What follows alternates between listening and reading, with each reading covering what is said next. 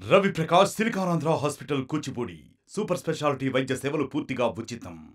ఈరోజు మన రాజధాని ప్రాంతాన్ని సందర్శించాలని చెప్పి నేను అనుకోవడం జరిగింది. దానికి కారణం ఏంటంటే నేను స్పీకర్గా బాధ్యతలు తీసుకున్న తర్వాత నేను పది పదిహేను రోజుల నుంచి కూడా మా రివ్యూలో నేను అబ్జర్వ్ చేసింది ఏంటంటే మనకి ఎమ్మెల్యేలు కానీ ఎమ్మెల్సీలు కానీ సుమారు రెండు వందల ఎనభై ఎనిమిది మంది సుమారు ఉంటారు. వాళ్ళందరికీ కూడా ఇక్కడ అకామిడేషన్ లేక చాలా ఇబ్బందులు పడుతున్నారు. ఏదో చిన్న చిన్న హోటల్లో ఉండడం రావడం మీటింగ్ రావడం వెళ్ళడం జరుగుతుంది. అంచేత ఆల్రెడీ చంద్రబాబు నాయుడు గారు మంచి బ్యూటిఫుల్ ప్లాన్ చేశారు. ఇవాళ చూశాను ఫస్ట్ టైం రావడం నేను. ఇంత ముందుకు వచ్చారు కానీ రోడ్డు మీద వెళ్ళిపోయాను నేను. ఒక స్పీకర్ హోదాలో ఫస్ట్ టైం రావడం జరిగింది. చాలా బ్రహ్మాండం కట్టారు. టవర్స్ ట్వెల్వ్ టవర్స్ పన్నెండు టవర్స్ ఉన్నాయి ఒక్కో టవర్ ఒక్కో ఫ్లోర్లో రెండేసి రూమ్స్ తప్పుని సుమారు రెండు వందల ఎనభై ఎనిమిది Lab taken to class. Special care and support for research. Global certifications. KL, deemed to be university. Quarters మీరు చూశారు ఇవాళ చాలా నేను హైదరాబాద్లో కూడా ఎనభై మూడు నుంచి ఎమ్మెల్యేగా ఉన్నా నలభై రెండు సంవత్సరాల నుంచి ఎమ్మెల్యేగా ఉన్నాను హైదరాబాద్ లాంటి సిటీలో కూడా ఇంత బ్రహ్మాండమైన క్వార్టర్స్ లేవు ఎమ్మెల్యేలకి చాలా బ్రహ్మాండంగా ప్లాన్ చేశారు ఆ రోజు చంద్రబాబు నాయుడు టైంలో. అది దురదృష్టం. గత ఐదు సంవత్సరాల్లో నాయకుల తాలూకు పేరెంది లేని పేరు చెప్పకూడదు నేను. నాయకుల తాలూకు నిర్లక్ష్యం వల్ల మొత్తం ప్రాంతం అంతా శిథిలావస్థకు వచ్చింది. నేను వచ్చి కారులో చూస్తాను అన్నీ చూసుకుని వస్తున్నాను నేను. ఇక్కడ కొంతమంది మెటీరియల్ కూడా దొంగతనం చేసేసారట. రాత్రులు. చూశారు ఇప్పుడు ఐరన్ రాడ్స్. ఐదు సంవత్సరాల నుంచి రాడ్స్ అన్నీ కూడా తుప్పట్టిపోయాయి. ఎంత నష్టం అండి ఆ రోజు ఎస్టిమేషన్కి ఇప్పుడు మళ్ళీ స్టార్ట్ చేస్తే ఎస్టిమేషన్కి సుమారు మూడు వందల కోట్లు సుమారు ఎక్సెస్ అవుతుంది ఇప్పుడు. ఇప్పుడు మళ్ళీ రీటెండర్స్ పిలాలా? మొత్తం ఈ కూడా.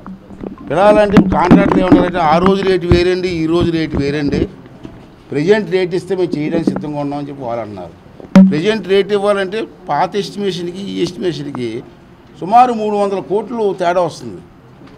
సరే ఎంత తేడా వచ్చినా తప్పదనుకోండి కానీ ఒక నిర్లక్ష్యం వల్ల ఒక నాయకుడి తాలూకు నిర్లక్ష్యం వల్ల ప్రజల తాలూకు డబ్బు మూడు వందల కోట్లు అనవసరంగా వేస్ట్ అయిపోయింది. ఇటువంటి క్లిష్ట సమయంలో ఏదేమైనా నేను ఏమనుకున్నానంటే ముందు ఎమ్మెల్యేస్కి మంత్రులు వేరనుకోండి మంత్రులు సెక్షన్ వేరే చూస్తున్నారు జడ్జి సెక్షన్ వేరే చూస్తున్నారు.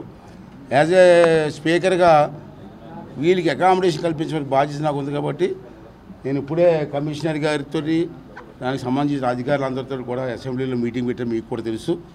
మేము అంతగా నిర్ణయం తీసుకొని దీనికి ఎంత బడ్జెట్ అవుతుంది ఎక్స్ట్రా?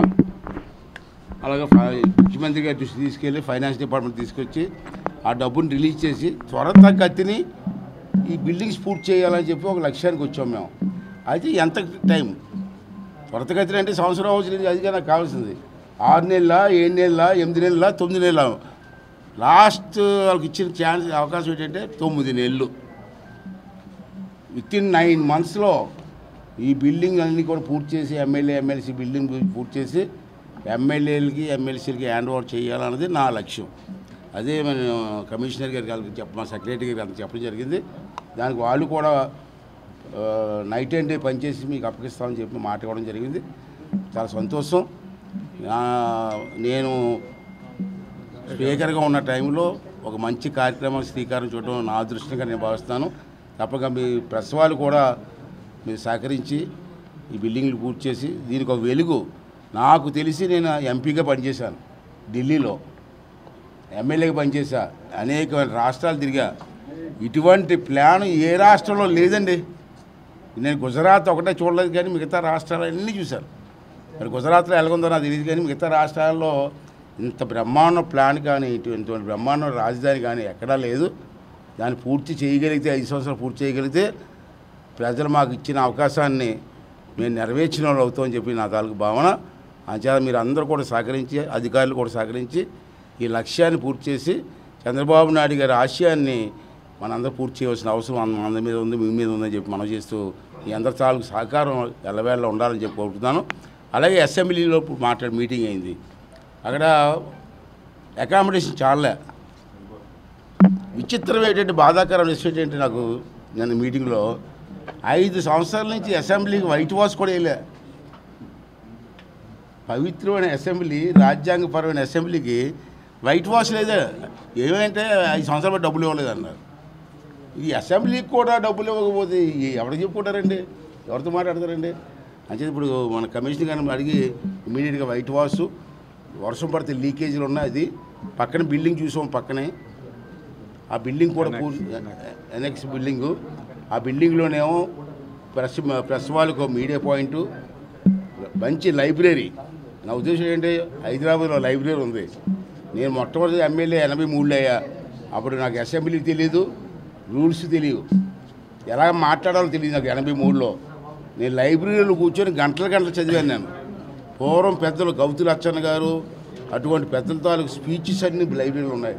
అవన్నీ చదివి three nought four eighty zero hour eighty అన్ని నేర్చుకున్నాను.